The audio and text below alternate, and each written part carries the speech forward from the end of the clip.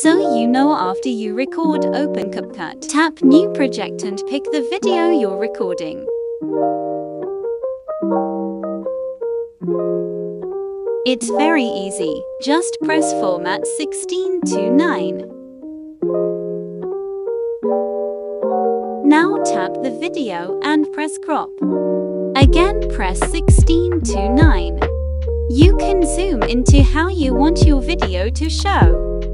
Now zoom in here so that it can fit the frame. And that's all. Press export and you're done.